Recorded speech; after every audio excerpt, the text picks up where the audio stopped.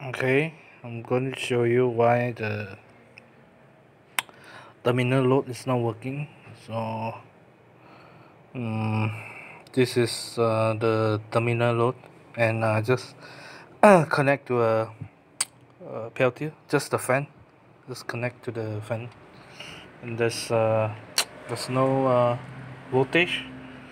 So right now I'm going to show you by measuring using a multimeters so okay. So I inserted the probe to the terminal.